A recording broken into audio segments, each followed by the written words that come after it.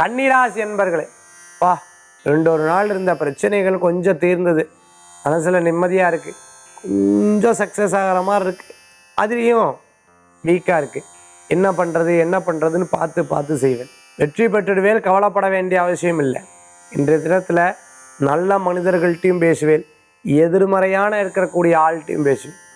பார்த்து பார்த்து ஒவ்வொரு காரியத்தையும் செய்யக்கூடிய தினமாக இன்றைய தினம் உண்டு. புதிய கடை திறந்தவா புதிய பிஸ்னஸ் திறந்தவா? ட்ராவல்ஸ் ஓப்பன் பண்ணவா?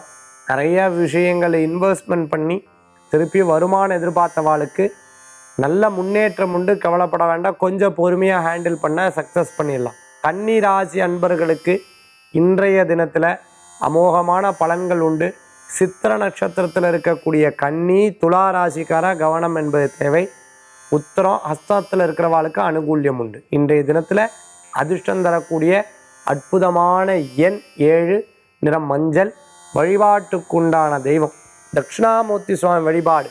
உன்னத பலன்களை தரும் அற்புத வழிபாடு.